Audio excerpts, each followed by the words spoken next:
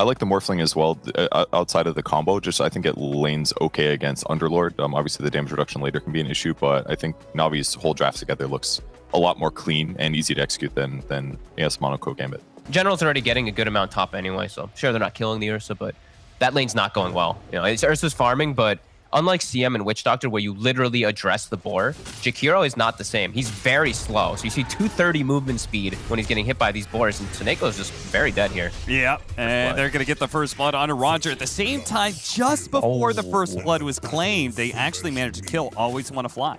So we still we'll see the runes checked out. We'll spawn down toward bottom. I believe it's a DD. Very nice if no one's able to get that. If, with the DD, they can actually set up for some kills. It looks like it's a race, though. Iceberg, he doesn't want to let him get a second power rune here, and he'll force the DD to be picked up. Now, thanks to Always Want to Fly being here, they have a small chance to be able to win this fight, especially with the boat coming in. Immersion's going to be pulled back into it. Managed to time the Spike Carapace to turn that boat damage, but it's not enough to live. Is it enough for no one to be able to get this kill? Slow down, always want to fly, just doing everything he can. The smallest Icarus dive to get that movement speed slow onto no one. Now he's got to make sure that he can actually get out. He does die here, but ultimately he did save his mid from going down. Well worth it, I think.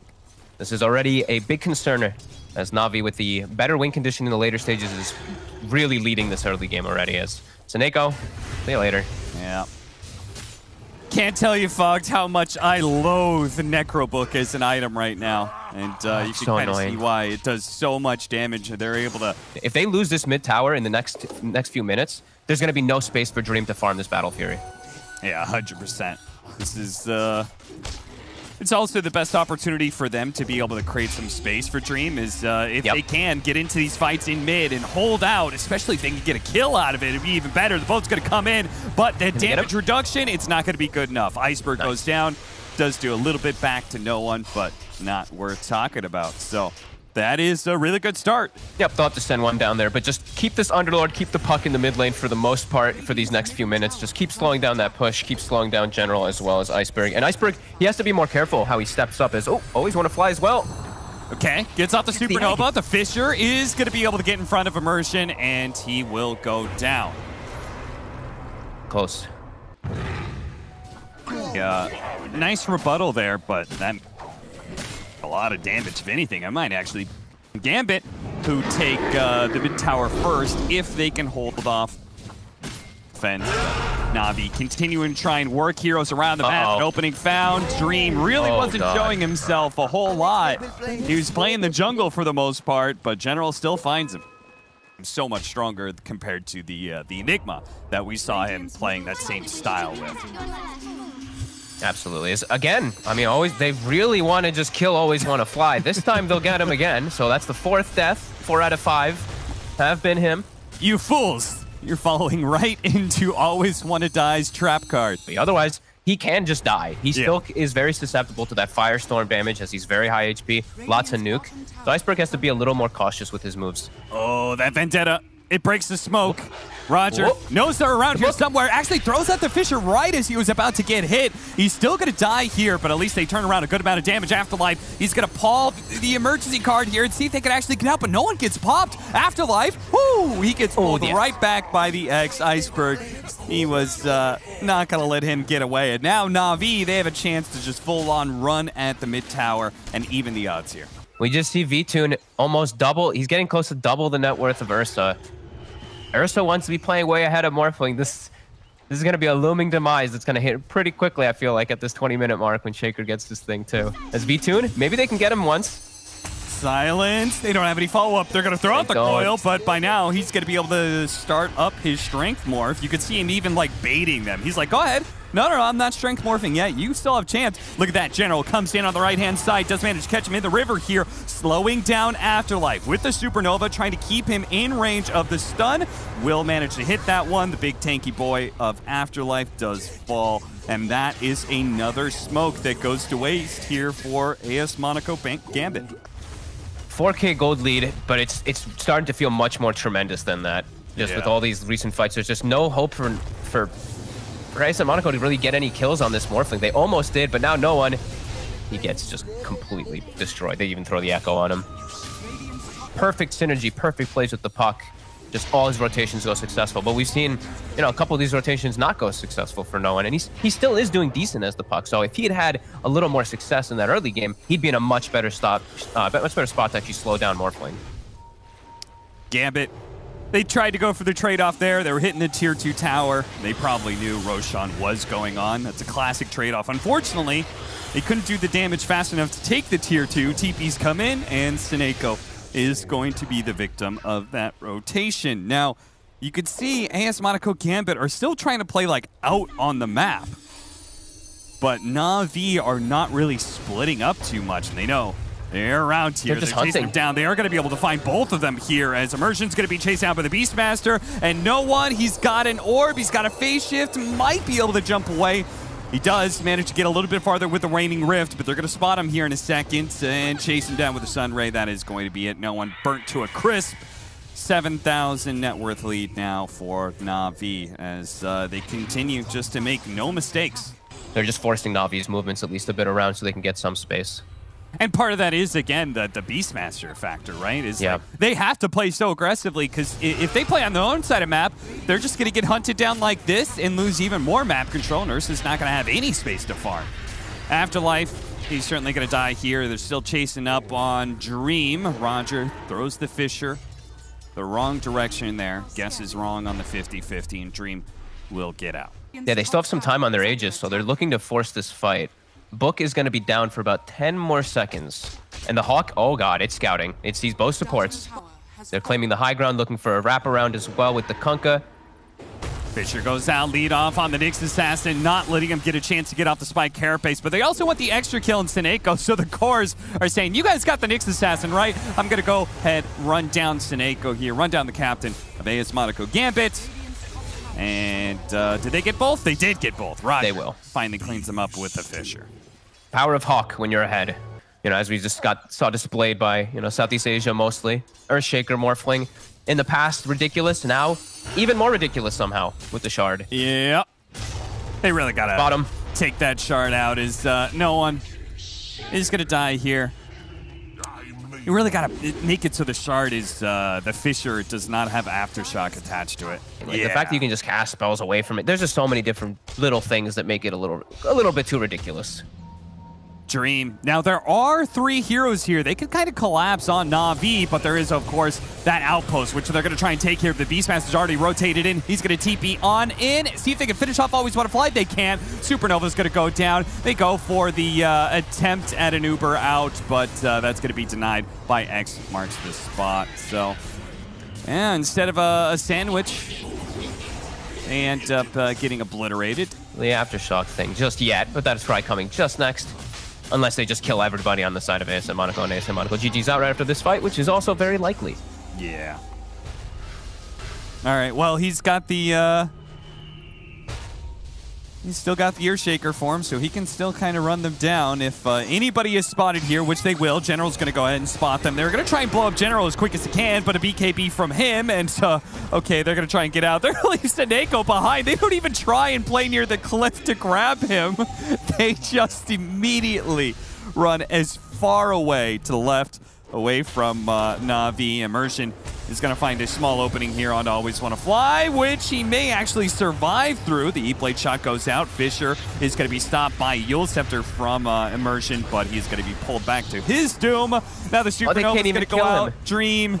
Wow, that one shot just took a quarter of his health. That's the Enchant Totem hit from V-Tune. They, uh, Probably they scared of like, these. X plays all the time since like every Underlord Rift has just been X'd back. I think Yeah. After's like, please no. And well, Iceberg gets a little low, but they do take the melee barracks. They're they're hunting for him though. Scans out General. He's got that Shadow Blade. That's why he bought it. Goes up on the high ground, waits Easy. for a TP, starts off with a primal roar. Now we've got And he gets every X back. single time, every single time, Fox, I get that that song "Jump Around." It goes in my Oh, yeah. head whenever I see this Morphling or Shaker. And hey, guess what? He's getting uh, X, so he can go ahead and be right back here into this mid lane. Bada bing, bada boom. That's a godlike spree for V-Tune. Good on AS Monaco Gambit for uh, playing it out. Yeah. they uh I, I like again i literally can't see a way for them to like win this game eh, God bless them. They're they're here and they're playing Dota and they're uh, hoping Navi will throw. But Navi been slow, methodical, and very controlled in their play. Which they, which Navi has done a lot of the games that I've gotten to see with him. We've had like I think two games where Navi wasn't as disciplined as normal, and as we say, see you later to immersion quickly. A one shot coming up from the Morphling. Look how much gold V-Tune gets for that, too. 417 when they're 24k ahead on a solo solo kill. It's just I don't know. There's some weird stuff with solo kills with the way gold goes, but again, The hunt continues. This time it's going to be the bear that gets poached. And yeah, you're right. Big testament to ASM Monaco Gambit for staying in the game because this is just this is starting to get pretty brutal. Let's look at this. Oh, that is beautiful. That actually looks so cool. He's doing a ballerina, little pirouette through the air as uh, he starts dunking on fools. Iceberg goes ahead and shows off that he can get solo kills as well. Hello, V-Tune. Goodbye, everybody, pretty much on the side of AS They're Monaco calling. Gambit as they go ahead and call the GG. Yeah, yeah, Brutal. brutal. Absolutely brutal. Navi showing that there is potentially a big difference between top two and the rest of the field. Europe division. Yeah, I, I I feel like I always see Navi get themselves a draft that they're super comfortable with.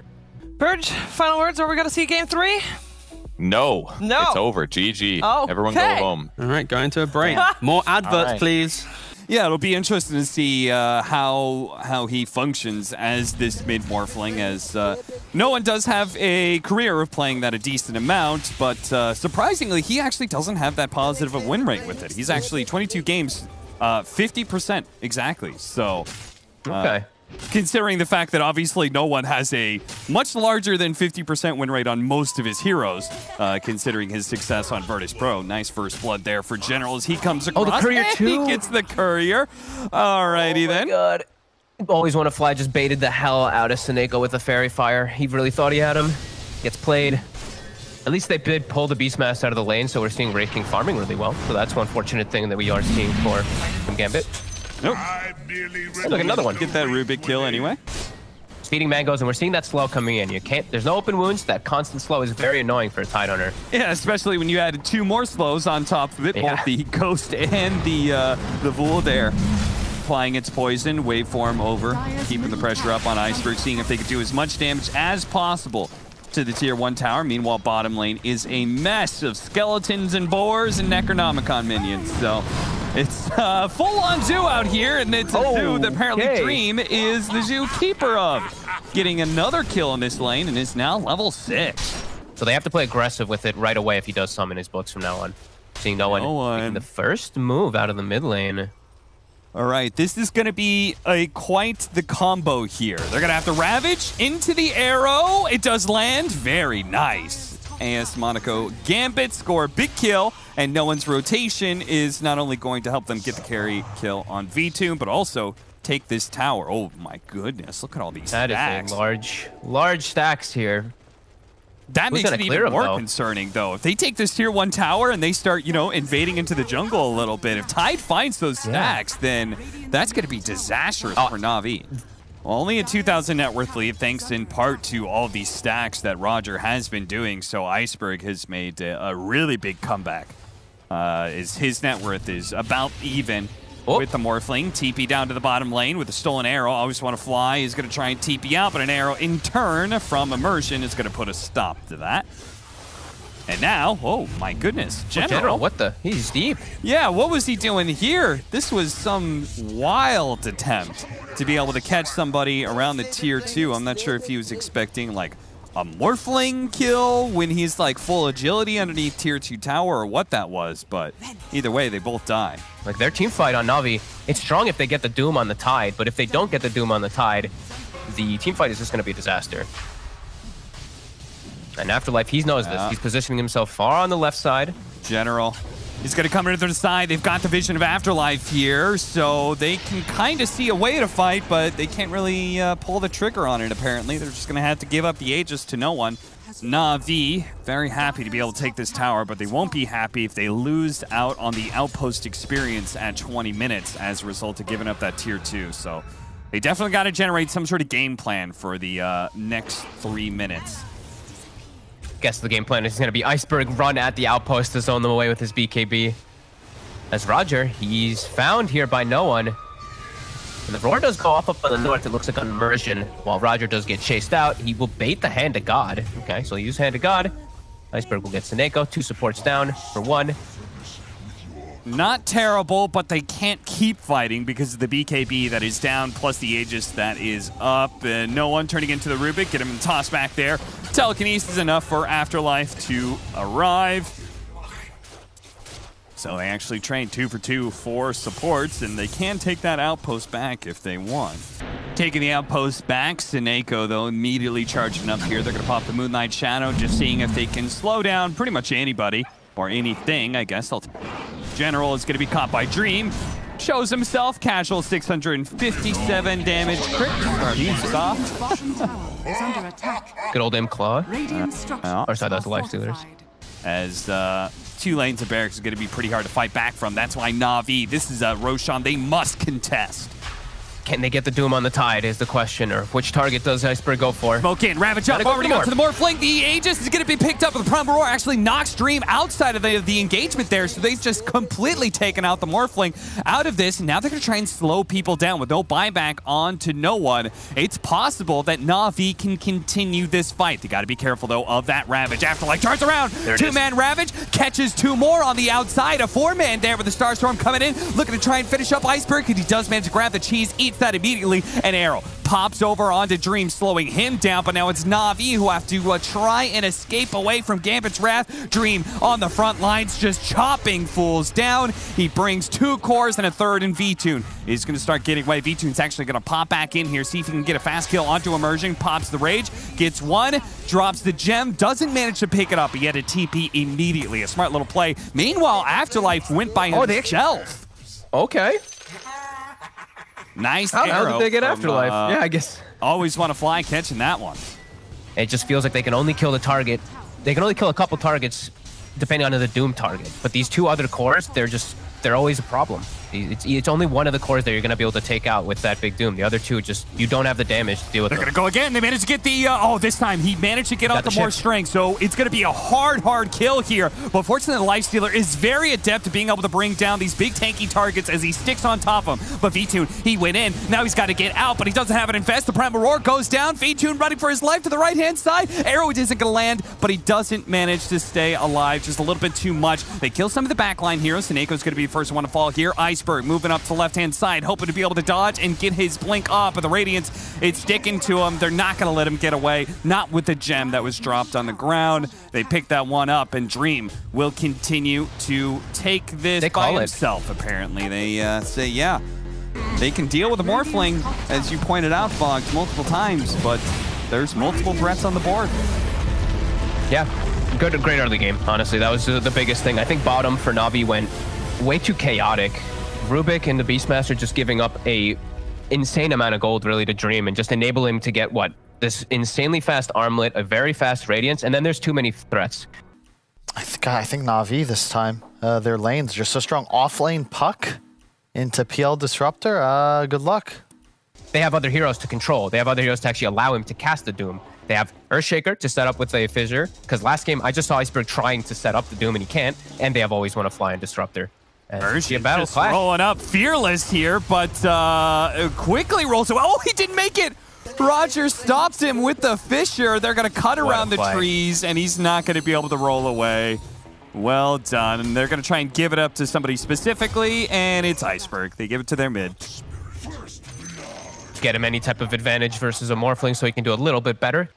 Seneko may still be able to hold the creep wave in front of the tower. We'll see. Now, the pressure from General is a bit too much. Roger grabs a creep wave Oh, again. Roger. This time, though, Roger He might just die. put himself in trouble. He already used his Fissure earlier. He slowed down enough. Yeah, they they saw that immediately. Dream and Seneko were like, "That is a kill," and they tip Roger before he even goes down. Now General's going to die as a result of that misplay from Roger. Two kills to AS Monaco Gambit.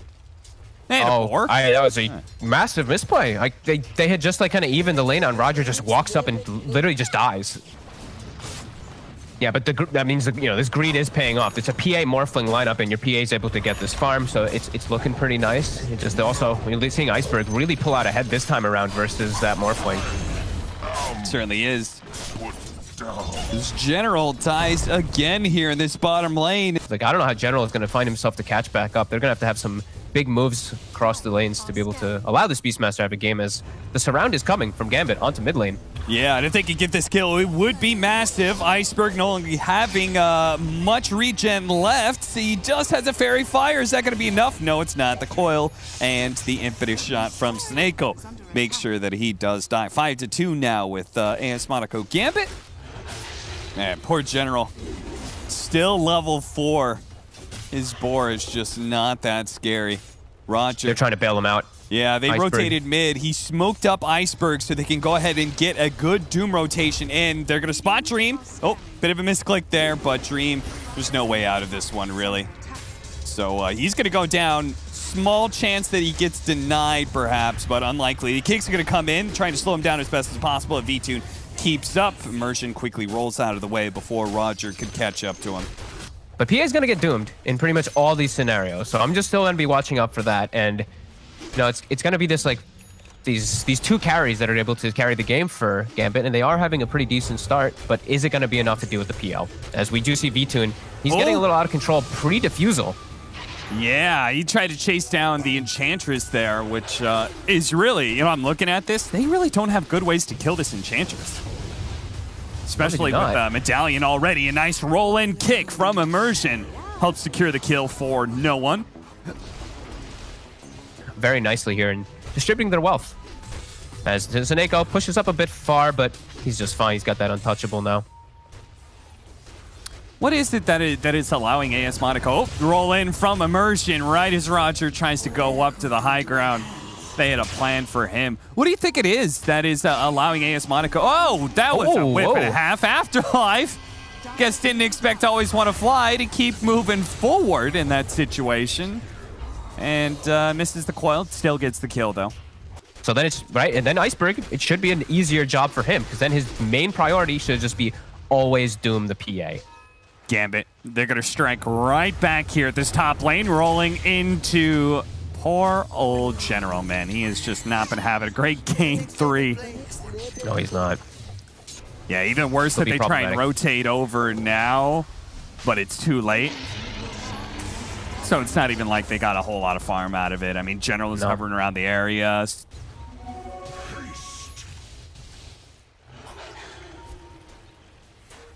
There's the heart. So V-Tune, he's extremely ready to fight, and we'll have to see how it all kicks up, how they actually deal with these illusions. Gonna be eyes on the PA to do so, as he's gone for a greedy build on the PA. General just General cannot again. go anywhere and can't seem to do a whole lot. Afterlife wants a bigger target. They ignore always want to fly in favor of Roger here, and with the coil and silence, they should be able to kill him pretty easily. Double kill for Dream. Easy ways into the back line. It's been this incredibly passive play from Navi. I feel like you have to look for some opportunities. You're not roaring, you're not static swimming, you're not dooming, you're not echo slamming. You're letting Gambit dictate the pace completely, and they just keep finding Sineko. Yeah, much like uh, when Always Want to Fly was constantly being the one being found from all these smoke ganks. Both these fine positions of Gambit and Navi are doing a good job of positioning themselves between where the enemy could be and where their team is, making sure that uh, potential smokes always break on them first. They do have a lot of information on Navi, they're just not being able to capitalize on it too well. Is under attack. Yeah, It's you a- really like a to spot in the game. finish off this mid tower. But uh, They're no one- trying. 15 seconds on the Aegis, so it's getting uh, about that time where Navi can perhaps be a little bit more confident with the glimpse back. No one. Five more seconds. They're waiting Oh, they're and waiting him. and waiting. Three more, holding off a little bit longer. Two, one. Aegis expires, and now they just let loose. And no one. He's certainly going to be dying under this onslaught. But Dream, he pumps out a little power of his own. He quickly kills General. Now tries to bounce back. V-Tune charging backwards here, trying to use that Phantom Rush to be able to get as far away from Gambit as they are. A tsunami rushing forward. They're going to take over Iceberg, melt him down real quick. Afterlife, with the buyback coming out from Always Want to Fly, is going to be caught inside the static storm. They kill him. Him. Sineko, he's got to be careful, but fortunately, the untouchable will do a lot for him there. No one, he's almost burned out of mana here. He's got to be uh, a bit careful, especially if he gets glimpsed back. Nice. He Oh, turned nice into the Phantom. Lancer. Ultra kill. Rampage coming out for Dream as he has just taken out everybody in the back line. More bad bags are coming in. Dream, man fighting up against V-Tune. V-Tune does have another doppelganger up and one more second. Immersion's been hunting him this entire time. Sounds goes out. They catch up a little bit longer. Sineko gives him an opening. Turn around. There goes the shock. Roger, is that enough? A little bit more. Dream is so low, but V-Tune, he got shotgun. He was e ethereal and he couldn't finish it up, but Dream does finally go down. They get the V-Tune's kill. still alive? V-Tune with this heart. He charges the other direction. He goes up Oh the my hill with the neutrals, the Phantom Rush. He gets to the other side. Now he doppelgangers again, and I feel like The that's regen. it. They can't kill him anymore. If anything, they've got to get back. Iceberg's coming in with the Shivas to be able to slow him down. No one's been burned out of mana. Bit by bit, they will take him down, pick him apart. No one goes down. Afterlife potentially next year. The coil goes out. Ooh, snaps himself on that one. V-Tune, though. What a play. The heart doing some serious work keeping him alive in that team fight, Fog. See if he can backdoor this tier one tower, the top lane. He's got some allies behind him too, so it should be pretty easy. What level was he before the fight, actually? I feel like he was only level... I think he had three levels from the fight on the PL, by the way. We'll glimpse back glimpse. into the static storm. They managed to get immersion this time around. He is most of the time been able to stay ahead of them, but this time between the hawk and the glimpse, they uh, they do catch him before he can roll away. This Iceberg Doom has a Shivas. It's not like he's squishy by any means. If they mess up at all killing him, they just they're screwed in the fight. As Dream, he shows himself. Iceberg can't get the Doom though. Yeah, Sineko may have that untouchable. The sad thing is for both him and uh, for no one, these are heroes that can survive relatively long time. Uh, V-Tune level 20. So I mean, yeah, he's getting he's getting quite a bit stronger. And Dream, he is getting stronger too. But it's Dream is playing versus Doom, which I'm just gonna keep keep harping on. He's just gonna get doomed, and then it's gonna be the Morphling to deal with that PL, and it just it doesn't feel like he's gonna be able to as Afterlife is found. The Hawk gets the vision. He's going to sell fuels for as long as he can now. He still has a chance to be able to get out of here, especially with the sounds going out. Afterlife is pulled back by the glimpse that he did still have the orb out. The Primal Roar from long range is going to be able to catch immersion, but immediately. BKB doomed up Dream. He jumps in and has to run. He's got to get out of here. Fortunately, the coil will slow down everything. They can reset this fight and perhaps even re-engage if they choose to. Afterlife certainly wants to, it's looking like, because he's going to play around a little bit with his orb. Jumps out, Dream, quickly kills Roger on the side. A big crit. Dang, oh, my iceberg. He lost about half his health from that one, but Dream has just been caught up in this Phantom Lance. He's being burned out of all of his mana. Once again, Glimpse. glimpse back in, but no one comes in and finishes off General. They still can't do anything about V-Tune, though. He does way too much damage, and he is just uh, this this giant wave of illusions that they, they can't touch. He's full health all the time. It is bit by bit burning him down. Now Level three Doom to online know. now too. He drop a ward. That ward is spotted by the sentry. Both teams knew that the uh, the other was lined up here. And uh, a re-smoke here. They're going to go ahead and jump into the triangle. And don't tell me that Gambit are going to do something similar here. Is they're actually going to smoke up? They're gonna smoke. They know. They know that this is the fight. Like Navi knows that this is their biggest fight. If they win this fight, they just likely win the game completely. As Sineko, he'll walk in Breaks down to first. Snako. Coil only onto one. Iceberg charges forward with his BKB and immediately identifies the, the PA. And here comes V-Tune as well. With a broken PA, he is very easy for them to be able to just go on and take apart. The Doom's not going to last much longer, but they've got the kill anyway. Jumping forward, Roger gets in front of Immersion, uh, getting a second kill for them. And everybody else from AS Monaco Gambit, it looks like, has already disengaged. And it feels like Gambit has to play like 4D chess in order to just somehow try to find a way to take these fights. They have to. They have to do something though, because these next few fights, Dream just has to be able to protect himself somehow. Like someone has to buy a Linken's or anything to protect this man. Yeah, it's looking like five on fives are not the play anymore for Gambit. They've got to try and split people up. Oh, no! Tried to jump in and finish off Roger. Roger gets off the Fissure. And now he's going to have to use the Waning Rift to escape here. Does have the... Oh, he jumped a little bit too soon. Afterlife. Okay, he's got a blink and a lot of charges. Sadly, though, he's got nothing left. Yeah, beyond godlike for V-Tune. Well, Hey, Sineko's gonna Sineko's even going. getting base damage. look at look at this creep. Look at this solar crested plus Yeah. 70 damage creep. Look at it. I don't think Navi's respecting this at all. Just look at this creep. It's tanking now. Look at this creep go. 18 armor. What's They're happening? taking the tower. My man just took a tier two and now potentially a tier three. They do get something for it. They uh, go ahead and spot immersion and get a glimpse back on him. So, hey, He's still going. He's got a like- range creep now. yeah. The, I mean, the tier three's gone, guys. All right. Well, he'll pay with his life in a second here, as if they see him, he's dead. Do they see him though, General? Oh, he We'll see him. beat out. He's gonna go for now, but of course the roar is gonna be there, and so he will slowly but surely die. At the same time, though, what is this?